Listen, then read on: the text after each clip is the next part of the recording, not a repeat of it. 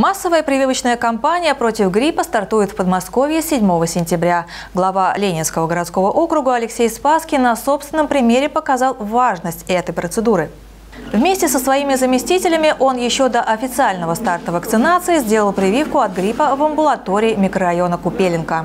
Вакцинация – это одна из таких государственных, скажем, задач, да, и практика показала, что вот эти вот зимние, весенние, летние э, приключения, в кавычках, которые нам выпали, они необходимы с той самой прививки, да, ну и каких-то соблюдений элементарных э, мер гигиены, которым нас в детстве учили, сейчас, мне кажется, немножко подзабыты. Данная вакцина трехвалентная. Она спасает сразу от трех типов вирусов гриппа. Сама процедура занимает не более 10 минут. Сначала врач измерит температуру и давление. Главное условие проведения вакцинации – хорошее самочувствие пациента. Всем мы рекомендуем делать прививки, особенно лицам старше 65 лет тоже рекомендуем делать.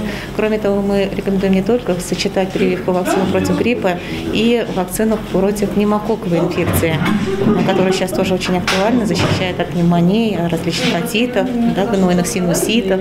Все желающие пройти вакцинацию смогут это сделать в учреждениях здравоохранения муниципалитета. Врачи подчеркивают, что в этом году привиться от гриппа особенно важно из-за угрозы распространения COVID-19. По итогам кампании планируется привить около 70% населения.